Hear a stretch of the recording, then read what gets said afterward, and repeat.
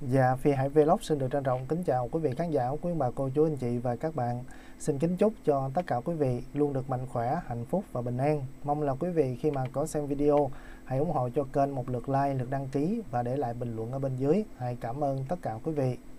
Hôm nay ngày à, 1 tháng 6 rồi đó, nhanh hay mới đây mà đã tới cái sự kiện cho cái đêm nhạc tối nay ở à, phòng trà Bến Thành của ca sĩ Hồ Văn Cường cùng với nhạc sĩ Nguyễn Minh Cường. Dạ thì à, mở đầu mời tất cả khán giả chúng ta cùng xem trước cái hình ảnh đẹp của Cường. À, một trong những cái bức ảnh được à, chụp lại trong à, cái sự kiện ở à, nhà hát thanh niên vào à, 30 tháng 5 vừa rồi. Cường cười rất là tươi. Mặc dù là hôm đó à, bị bệnh khàn tiếng rất là nhiều nha quý vị nhưng mà vẫn cố gắng hết mình để mà cháy cùng với à, khán giả những người ái mộ đặc biệt nhất đó là gia đình FC xanh độc chuối mà trọn vẹn cho một đêm nhạc à, hết sức thành công của Cường cùng với lại là rất là nhiều khán giả kính cả cái khán phòng ở à, nhà hát thanh niên. Mình cùng xem lại những cái hình ảnh nha quý vị à, những cái đoạn ngắn trong cái à, đêm nhạc trên mà phải nói là rất là đông khán giả quý vị.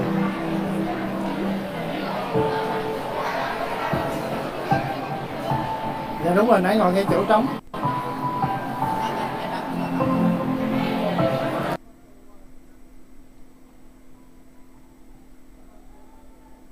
Đây là cái hình ảnh mà hãy ờ, quay được từ ờ, ở phía dưới nha quý vị. À, phải nói là nhìn rợp trời khác rất nhiều. Cô chú anh chị khán giả à, đến để mà đồng hành cùng với cường kính cả khán phòng.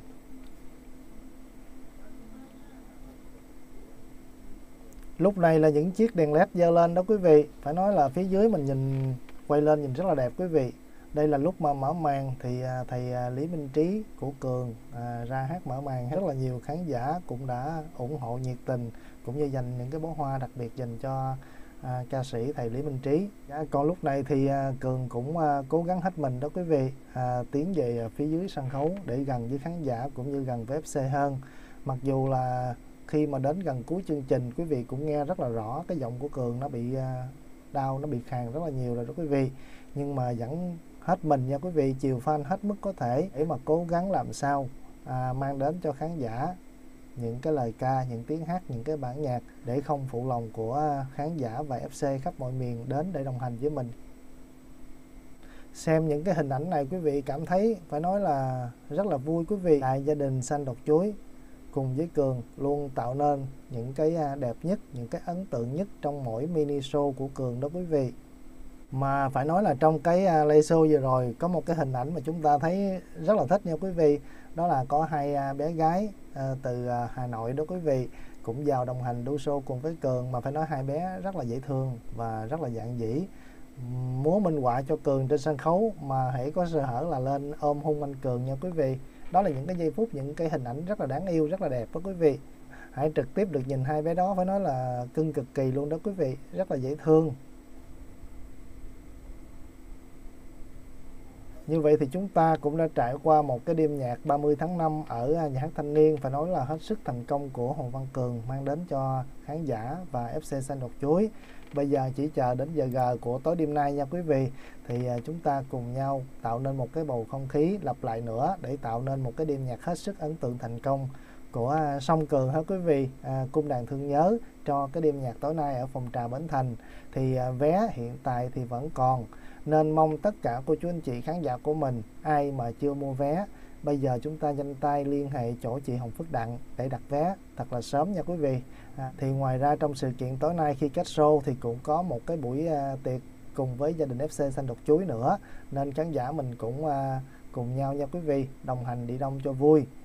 Vé thì hiện tại vẫn còn nha quý vị. Chúng ta nhanh tay chúng ta chốt vé ha hiện tại thì à, sáng giờ chúng ta cũng thấy được rất là nhiều những cái hình ảnh đẹp của cường cùng với lại là à, nhạc sĩ nguyễn nhất huy rồi cô quyên rồi à, các anh chị nghệ sĩ khác nữa ha đã cùng nhau tập dợt cho những cái đêm nhạc những cái sự kiện sắp tới của đà lạt nữa. Một trong những cái hình ảnh mà chúng ta được nhìn thấy ở đây à, đó là nhạc sĩ nguyễn nhất huy cùng với lại là cô quyên à, đang à, tập một cái bài hát mới được nhạc sĩ chia sẻ nè viết riêng cho cường đó quý vị à, tươi rối mà hết bệnh luôn mà nói thì nói vậy ha quý vị. Nhưng mà cường bị uh, viêm họng thì uh, mới có cách bữa mà tối nay tiếp tục rồi thì hãy nghĩ là cũng đỡ được phần nào thôi chứ chưa gọi là hết hẳn đâu ha quý vị. Mong là đêm nay thì uh, tới sự kiện tổ đãi ha quý vị uh, cho cường uh, tự nhiên hết luôn khàn tiếng nha quý vị để mà cháy hết mình uh, cùng với khán giả. Còn đây là hình ảnh tập nhạc à, cùng với à, ca sĩ Lâm Hùng nữa nào quý vị. Chuyến này hình như là nhìn Cường hơi ốm hơn hơi gầy hơn tí phải không quý vị à, so với trước. À, Hải cũng có thấy được một cái đoạn nhạc mà nhạc sĩ Nguyễn Nhất Huy cùng à, tập với Cường là quý vị để hãy mở cho quý vị à, nghe một đoạn ngắn thôi nha.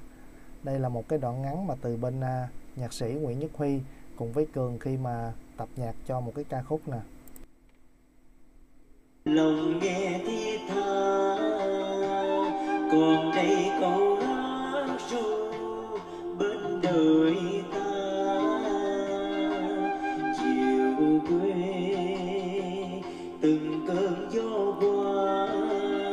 Dạ mình nghe một đoạn ngắn à, của ca khúc còn mãi là ru nha quý vị. À, đoạn ngắn thôi.